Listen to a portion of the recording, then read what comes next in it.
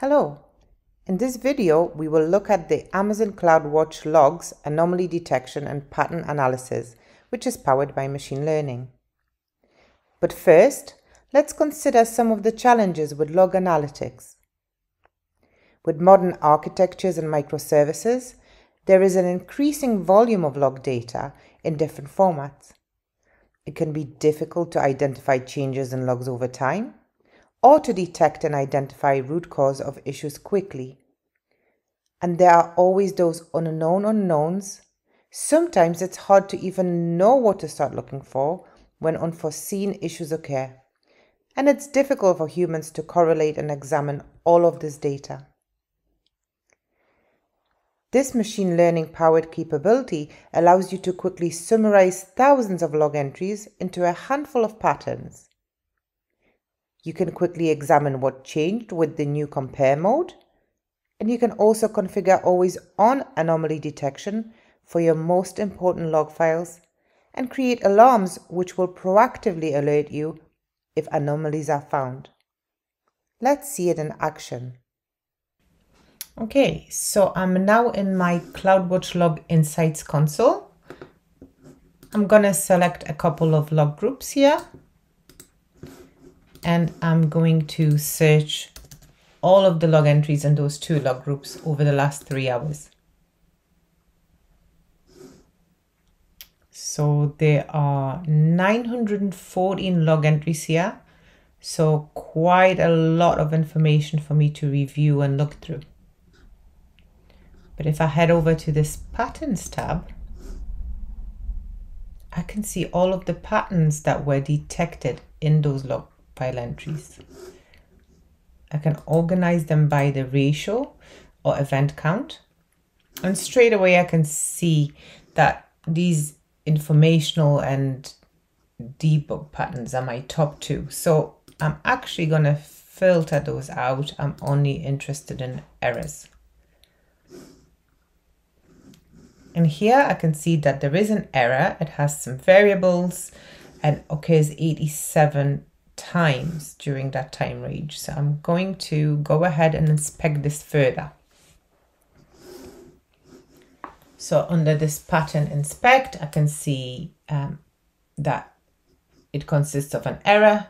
Then it has two variable values or patterns or tokens.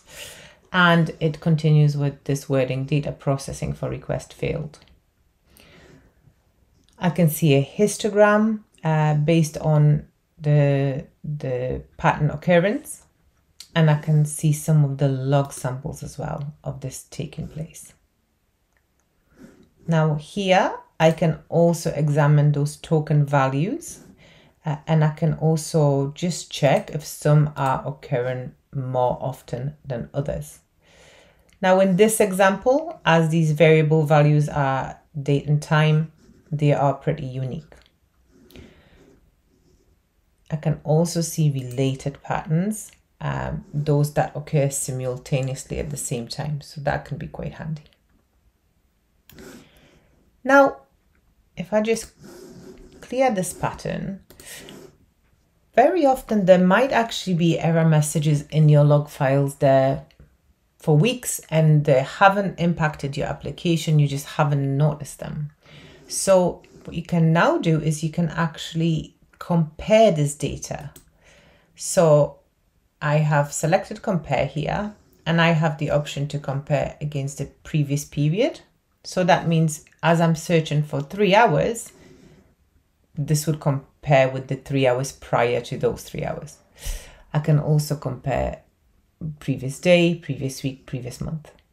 So I'm gonna go ahead and select this previous period and run this query again.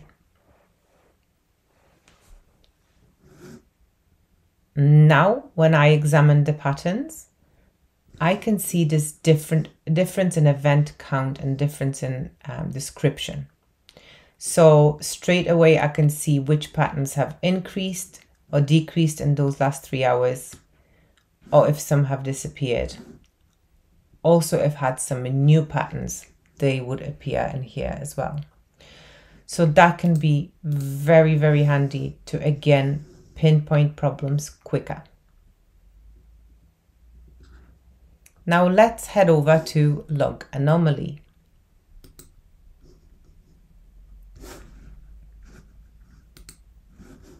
Next, I want to show you how to create those always on log anomaly detectors for specific log groups. So I'm now in the log anomalies console.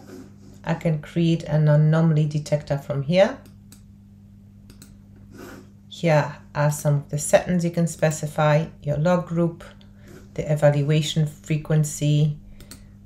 Optionally, you can add some additional filter patterns, and specify the maximum anomaly visibility period in days after which your anomalies will be baselined.